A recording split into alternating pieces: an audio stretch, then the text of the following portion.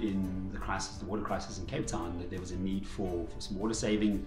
Um, we initiated a variety of projects um, by reusing some of the wastewater um, that would normally have gone to drain, and by reusing it, refiltering it, and putting it back into the, the plant for other uses, uh, we could save a lot of water. We ended up saving over 90 million litres, um, about two and a half million rands over the last 25 months.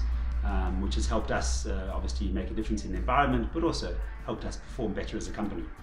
So the staff obviously initially took a bit of time to, to get them to buy in um, and to, to understand what we were trying to do. But uh, once they've understood and they see the benefits, um, especially being in Cape Town with the water crisis, um, they realize the, um, the opportunity and the importance of, of, of, these sorts of projects. And so they've bought in and, um, and are very keen to help and to do their bit to, to make a difference.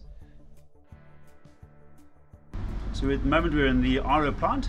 Um, so we're taking some brown water uh, which is the brown tanks, the borehole water which comes out of the ground. We then take it through a filtration system, um, ends up through the, the blue container, which is the RO plant itself, and then into the green tanks, and that is filtered water, which is better quality uh, than you get from the council. So this takes borehole water and filters it and refines it so that we can use it inside the plant.